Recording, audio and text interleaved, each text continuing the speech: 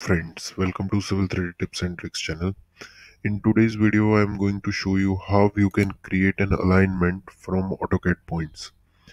So you can see here i am having some points and uh, i am only input i am having is the point and northing easting so what i will do is uh, this is the excel file what i have received.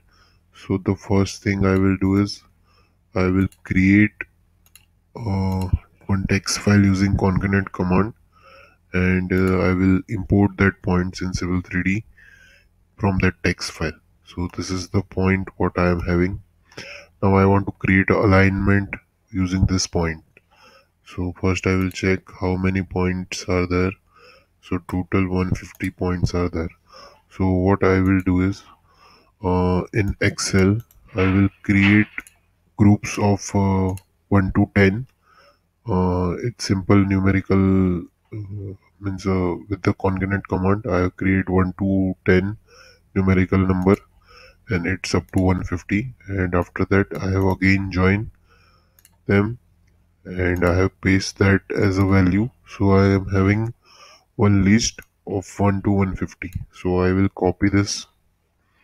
Now in civil 3d what I will do is I will create one line and I will use this option line by point range. And I will paste and here. So you can see it will create different different lines from 1 to 150 now I will press escape. So you can see between point number 1 and point number 2 one line has been created. Now what I will do is I will use select similar command and then join all the lines. So now I am having one polyline which connects all this point. Now the next thing is I will create alignment from polyline. I will select this polyline.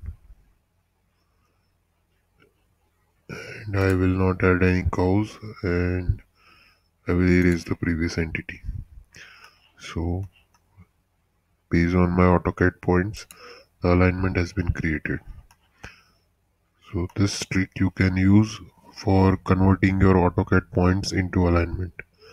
Thank you for watching this video and for latest updates please subscribe to our channel. Thank you